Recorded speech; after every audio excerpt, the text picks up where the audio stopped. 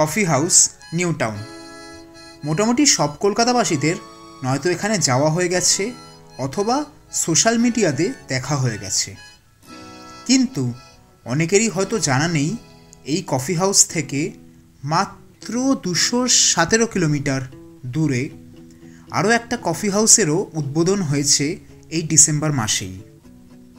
শুনতে একটু হলেও অবাক লাগছে তো? তা চলো, আজ সিটি অফ জয় থেকে চলে চাই আমরা সিটি অফ ব্রাদারহুড মানে আসানসোলে। অ্যান্ড এরকমই অজানা, অচেনা জায়গার খবর পেতে গেলে চ্যানেলটা কিন্তু সাবস্ক্রাইব করতে হবে।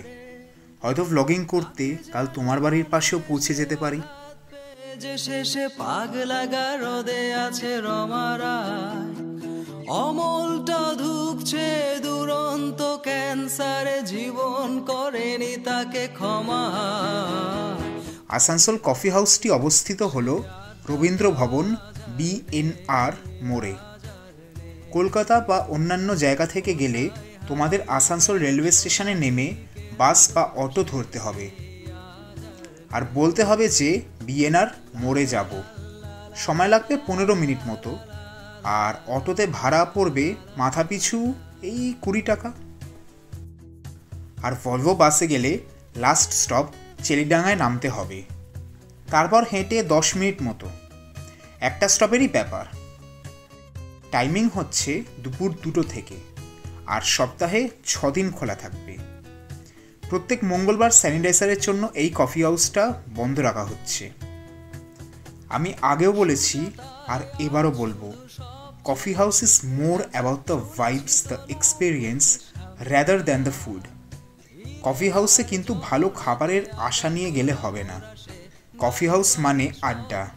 কফি হাউস মানে ইমোশন। আবঞ্জনের সাথে গিয়ে কফি আর স্ন্যাক্স নিয়ে ঘণ্টার পর ঘণ্টা জমিয়ে আড্ডা মারা। আর সাথে ফেসবুক বা ইনস্টাগ্রামের জন্য সুন্দর কিছু ফটো আর সেলফি তোলা যায় যদি। তো জমে ক্ষীর।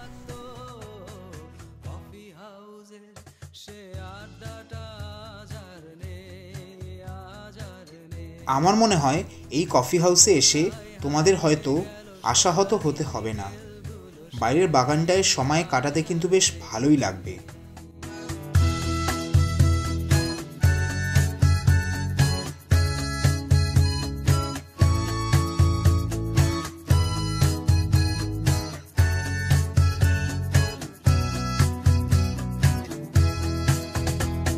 আর ভিতরে ঢুকলে সেকালের আর একালের মেলবন্ধনটা নিশ্চয়ই টের পাবে তোমরা।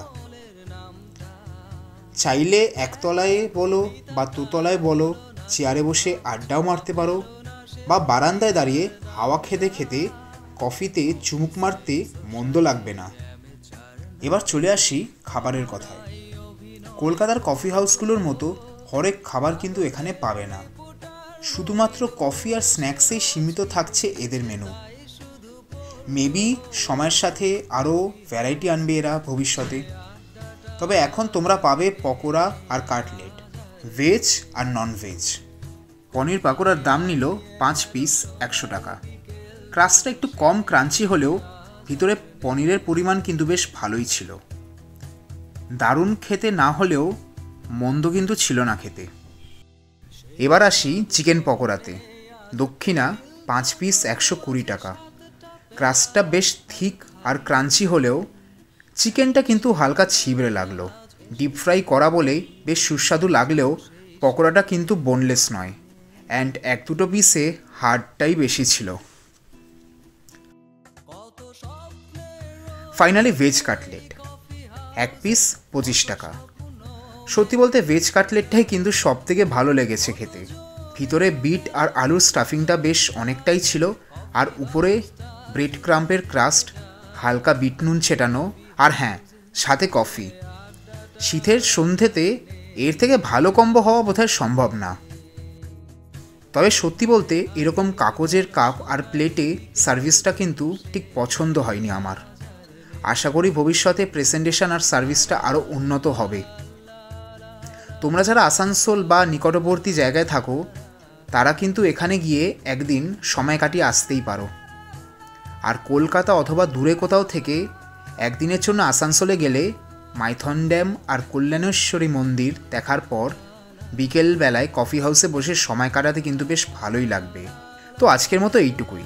সো চলো, শুভরাত্রি, ভালো থেকো, আর আবার দেখা হবে পরের সপ্তাহে আরেকটা নতুন ভিডিওর সাথে।